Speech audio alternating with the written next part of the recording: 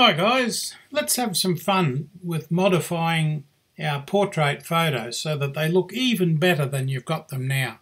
And we can do this by applying lens blur to selected areas in Affinity Photo on the Windows PC and we can do it in just a few easy steps. So let's set up the image. We'll begin. I'll be using a stock image from Pixabay in the Stock Studio for this tutorial. You can find other stock photos of people or objects from Envato Elements for example. See the links in the description. For this how-to, it helps if you choose a stock image where the model has edges that you can see clearly. It's also an added bonus if the background is not too distracting. This tutorial is very similar at the start to my previous one on lens blur, so don't be confused if it seems familiar. So let's create a new project.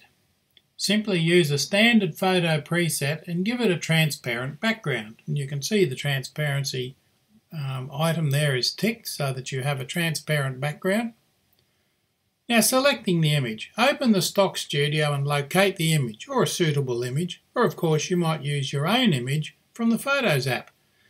Drag the image onto the canvas, and of course it will be the wrong size, but we can easily fix that in the Transform Studio. And you can see that down in the right hand side there.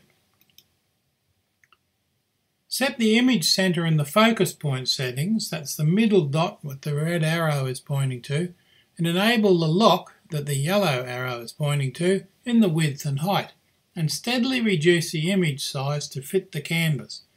That draws the image into the center of the canvas so that you can find it. If you leave it set to the top left hand corner of the focal point, it disappears off the side and you have to go find it. Quite difficult sometimes. You may lose a bit of the image, but that's okay, because we're going to lose most of it anyway in just a moment. Now, for security, especially if you are using your own images, you should duplicate the image and lock the original unselect the original and just use your duplicate. You can see what I've done in the layers panel there.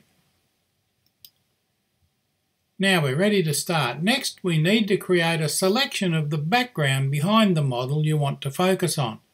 So select the Smart Selection Brush tool in the toolbar. And that's it there.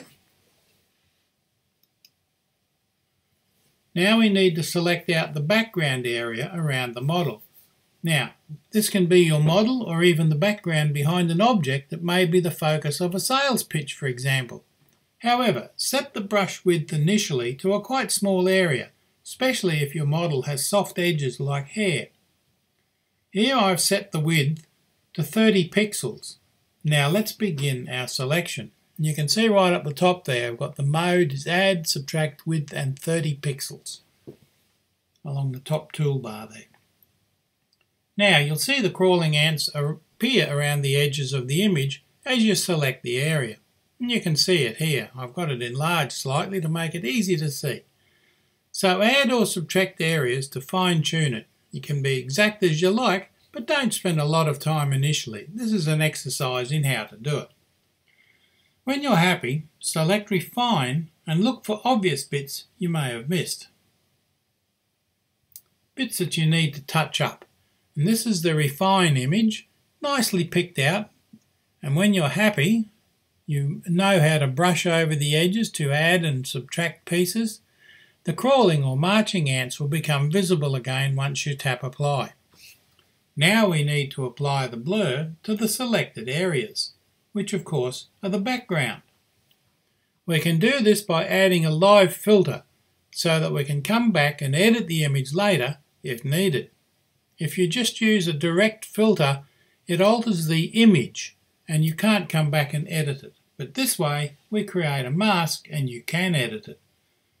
Add live filters creates a mask of your action and you can select the live filters layer from the layer tool. Go up to layers, down to new live filter layer and across to blur and from there you can set it.